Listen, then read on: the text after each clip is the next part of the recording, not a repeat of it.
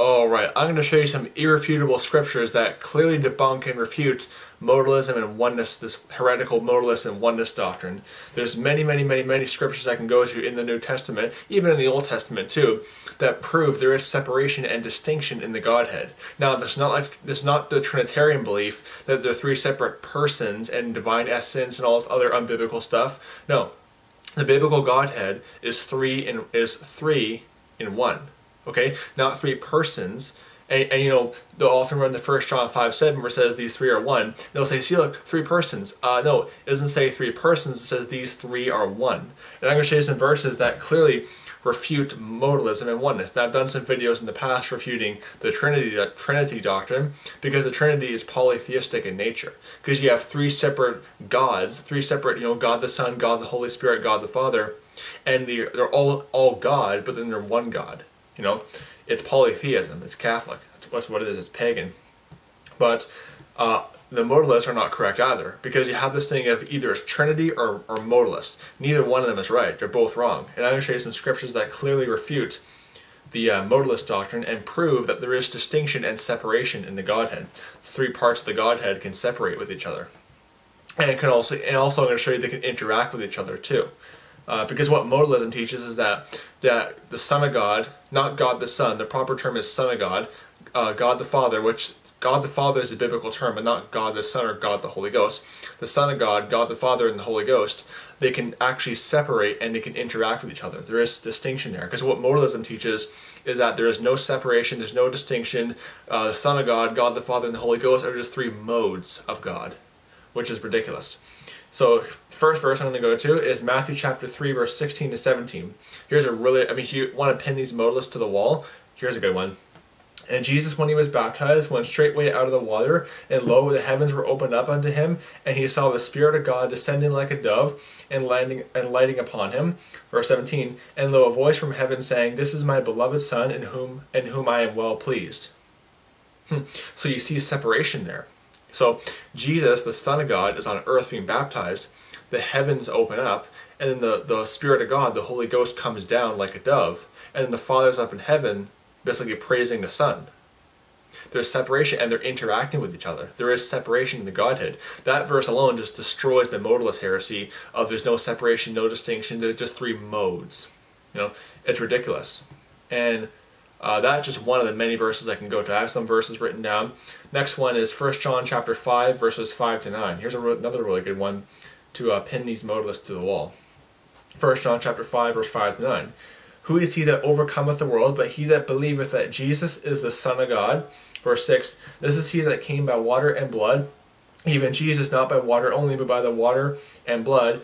I, I, sorry, I'm not good at reading on a computer. And it, and it is this, the Spirit, that beareth witness, because the Spirit is truth. Verse, verse 7 For there are three that bear record in heaven the Father, the Word, and the Holy Ghost, and these three are one. You go to verse 8. And there are three that bear witness on earth the Spirit, the water, and the blood, and these three agree with one. If we receive the witness of men, the witness of God is greater, for this is the witness that God which he hath, which he hath testified of his Son. Again, you see separation. And again, there are three that bear record in heaven the Father, the Word, and the Holy Ghost. These three are one. Not three persons like the Trinitarians claim, but they're three. These three are one, one God. And again, you see the, uh, the God which he hath, you know, the witness, it says, For this is the witness of God which he hath testified of his Son. God is testifying witness of his Son. Again, proving separation, because God is testifying, obviously, it's the witness testifying of the Son of God, Jesus Christ. There is distinction. And another good one to go to is 1 Corinthians chapter 15, verses 27 to 28. 1 Corinthians 15, 27 to 28. There's, here's a really good one that pinned these modalists to the wall.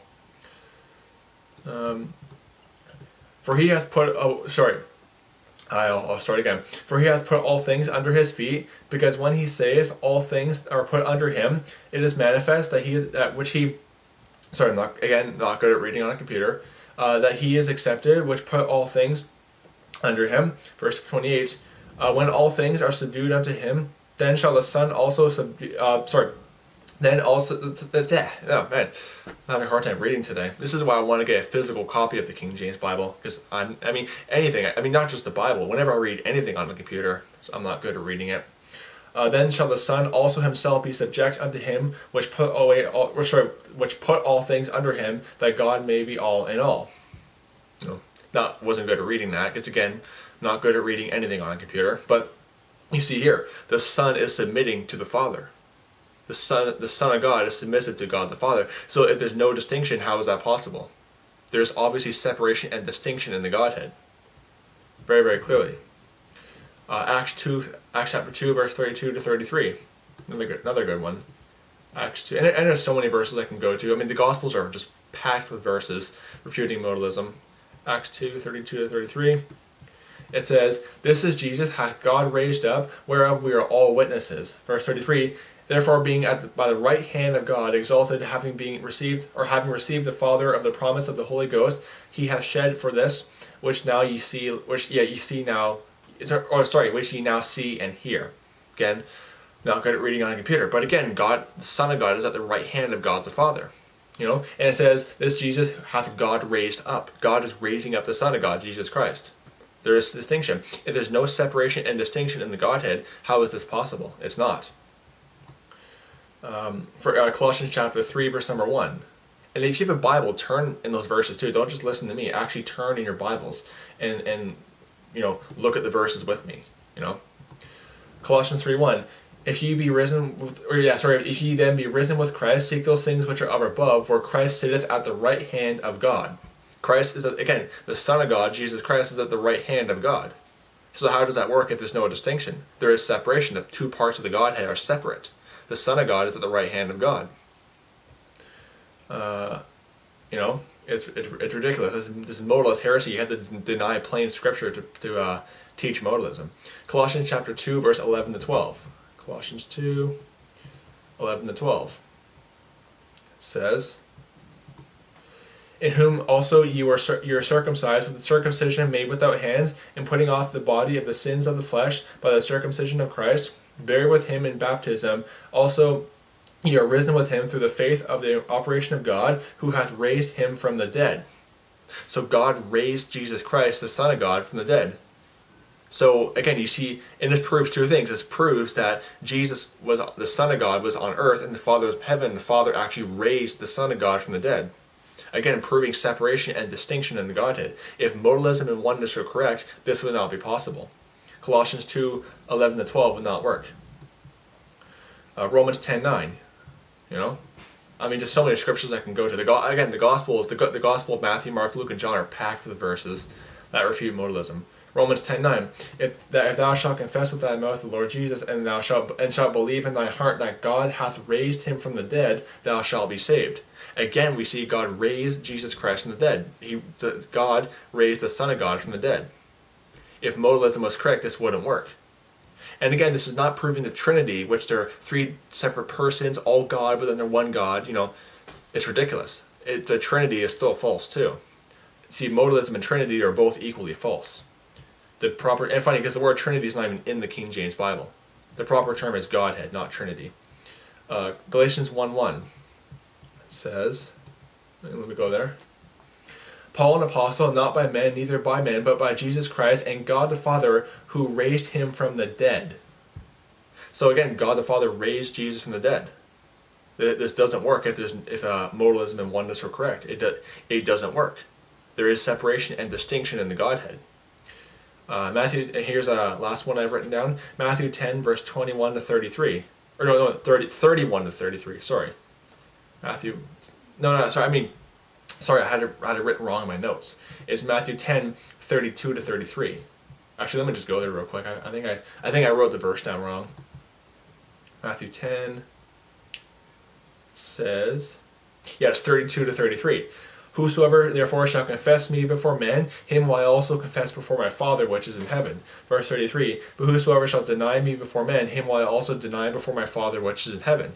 So the Son of God is confessing people before God in heaven. How does that work if, if, if, if, modalism was correct? And again, uh, this again this is not dispensationally for us now because this is dispensationally in the Old Testament. Because when Jesus was walking on the earth, they were still doctrinally under the Old Testament, but it still proves separation in the Godhead because the Son of God is confessing people and denying people before the Father, before God. So if modalism was correct, none of these verses would work. None of them. I mean, all prove separation and distinction. You know, how the Son submits to the Father, how God, you know, Son of God is at the right hand of God the Father. It, it, it just so many verses. I mean, again, the Gospels are packed with, packed with verses that prove the biblical Godhead.